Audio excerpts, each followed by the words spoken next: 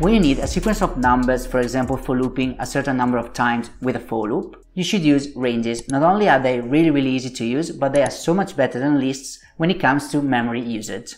Alright, so a range is a built-in Python type and represents a sequence of numbers that you can use in a for loop to loop a specific number of times and also you know to create a list of numbers. So the range function can take up to three arguments but you can decide to pass only one, two, or three. Okay, so if you pass only one,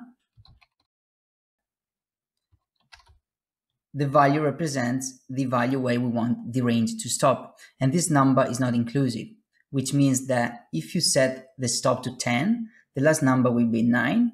And of course, the start number will always be 0 by default. And this is inclusive. And the step that we'll look at in a minute will always be 1. Then if you pass two arguments, you've got the start and the stop. Okay, so the start is the value where we want the range to start from. And of course, in this case, it's inclusive. So if the start is 2, then the first number will be 2 and the stop is the same as above. Okay, then lastly, you've got three arguments. So the start, the stop, and the step. Okay, the start and the stop in this case work exactly the same as above. And the step is basically the space, let's call it like that, between two numbers in the range. So if the step is 1, as it is by default, the numbers would be, let's say 0, 1, 2. If the step is 2, the number would be 0, 2, 4, etc., etc. Okay, so let's see some examples, and then I'm going to explain you how the range formula works and why ranges are better than lists when we only need to look for a certain amount of numbers, for example. One important thing, let's comment this out.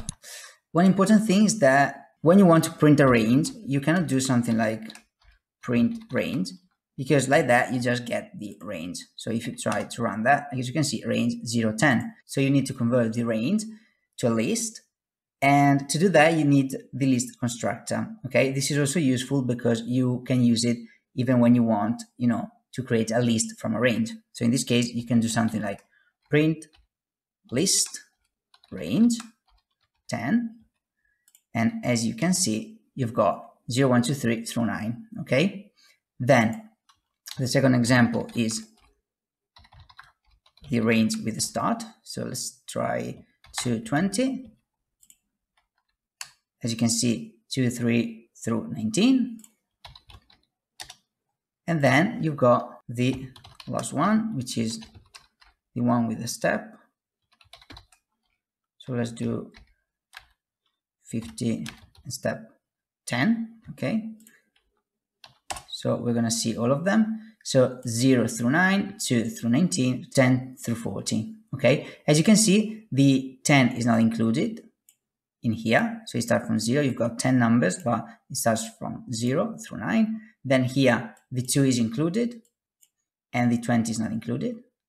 And then here, as you can see, the 50 is not included because with the step 10, the last number needs to be less than the stop value. So the last number would be 50 and it's not less than 50 because it's equal to 50. Okay, so it's not included. So if you want to include the last number, you just need to add one number like that and as you can see, now you've got 50, you've got 20, okay? So make sure that if you want the last number to be 20, you need to just have the stop value a little bit greater than the 20 or 50, just a little bit greater, in this case 51. Okay, so let's clear this up.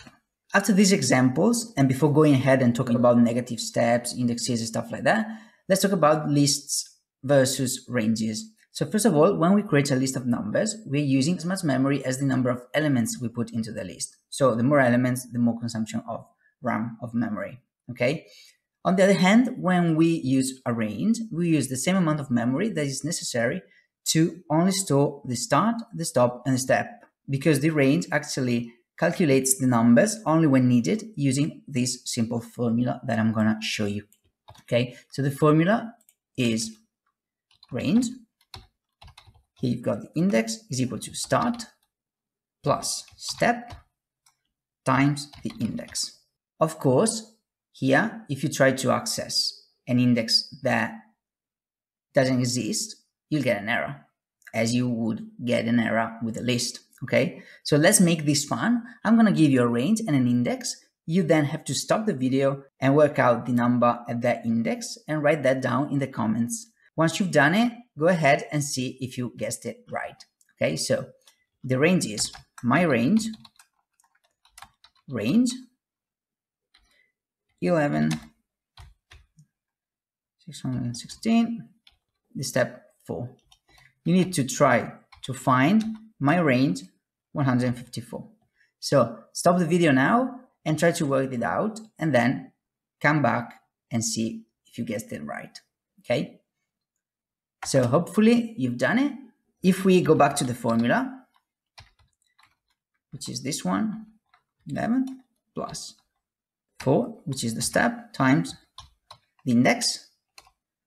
And of course, you get 627. You can try that out because you can do something like my range 154.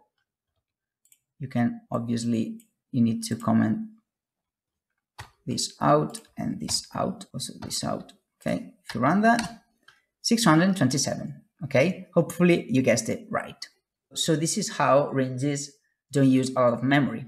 Okay, so when you loop through a range with a for loop, for example, Python starts from index zero and then goes one index by one up to the last index. Each number, though, is not really stored in memory, but it's calculated on the fly by Python, which means nearly no memory used. Okay, so now I'm going to show you the difference in memory usage for a range and a list, and you'll definitely see what I mean. Okay, I'm going to stop the video a minute to get everything ready on the screen, and I'll see you in a second. As you can see here, you've got all Python processes that are running on my computer. Okay, I'm not going to run this file, I'm just going to use Python like that. Okay, so now I'm using Python. As you can see, you've got a new, new process here. This is where want, you want to look at. Okay, so let's try to create a big, big range 100 millions, I think. Yep. Okay, let's try. Look at the memory here. It didn't even move. Okay. But let's now try with a list.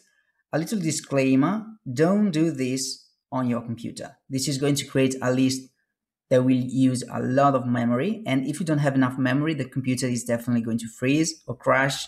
So don't do it. Just Trust me, don't do it. Okay. Unless, of course, you know for sure that you've got enough memory, like 16 gigabytes and stuff like that. Okay. So then let's create a list. So list, I'm to use the range. Same number. Let's check it. I don't want my system to crash. Okay. Perfect. Let's run it. Look at the memory here, of course.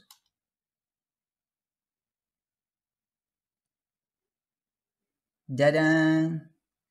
As you can see, 3.7 gigabytes. Did you get now why you should use ranges?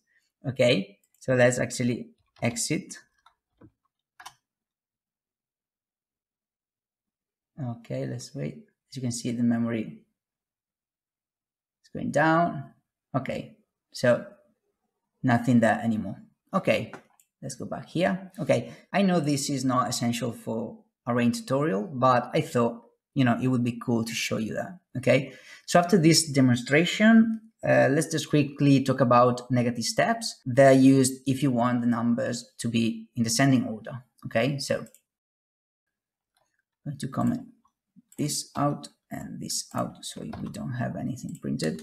Okay. So if you want to print the numbers or use the numbers in descending order, you just need to do something like range 10. So the start is greater than the stop minus 2. Okay? Or you could even do something like negative numbers. So from 0 to minus 20, that's minus 1. So if you run that, as you can see, 10, 8, 6, or 0, minus 1, minus 2, etc. Okay, really, really cool. Then, of course, you can use indexes and slicing. So if you have like my range is equal to range 10 20 then you want to get the number at index 2 you can do something like that. And run Python range. As you can see 12 so the so it's 10 11 12 which is 0 1 2 the second index is 12 that's right. And you can even use of course negative ranges. I mean indexes. Minus 1 okay. So this is the last. So 12 19 last number is 19 that's right and last but not least the slicing. So let's say you want to create another range from that range start from the beginning up to the seventh index do something like that range 10 17 okay? So this is how you can use slicing and stuff like that. That's sort of the same as the lists so i'm not going a lot into that. But you know you know that you can use slicing indices stuff like that okay so as i said uh, during the video ranges are mostly used to loop for a certain number of times which is where you should use them instead of lists. So a range is used especially when you do something like for x in range 10, you want to loop 10 times, print x, for example, okay? So if you run that, obviously you get 0 through 9 like that, okay? If you want to learn even more about Python, here you have another cool video to learn from. I'll see you there.